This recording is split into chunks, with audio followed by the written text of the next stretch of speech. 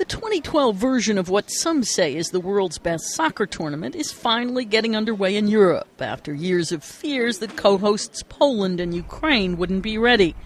There's still controversy over worries about racism and Ukraine's political turmoil as well. Britain isn't sending any official representatives to the early rounds because of the government's imprisonment of opposition leader Yulia Tymoshenko. In terms of the play, defending champion Spain, also current World Cup holders, are the favorites, though a training ground slogan that history doesn't win games shows they're not resting on their laurels. They could see strong challenges from the Dutch and a young German squad that performed well in South Africa two years ago. Despite a giant image erected in Dover to the New England manager, it would be surprising if Roy Hodgson manages to get his perennial underperformers very far into the tournament's later stages. Many animals, meanwhile, are trying to emulate the late octopus Paul when it comes to predicting the outcome of matches. In Thailand, the sea lion Teak says Greece will lose to host Poland in the opening game.